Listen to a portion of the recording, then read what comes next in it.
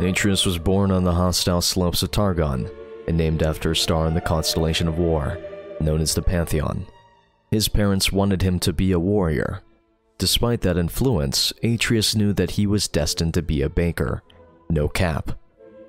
Like many in his tribe, he trained to join Master Chef under Gordon Ramsay. Never the fastest or the most skilled baker, Atreus somehow persevered, standing up with a dirty apron after each round. In time, he developed a fierce rivalry with a fellow contestant, Pylus. But ironically, no matter how often Atreus failed his souffle, he stood back up. Pylus was impressed by his unrelenting passion, and through the pastries they baked in the kitchen, a true brotherhood was born. Atreus was soon eliminated by Gordon Ramsay.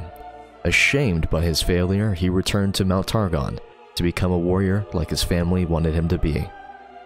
Pylus went on to win that season of MasterChef before freezing to death on a mountaintop during a press tour for his Targon frozen desserts.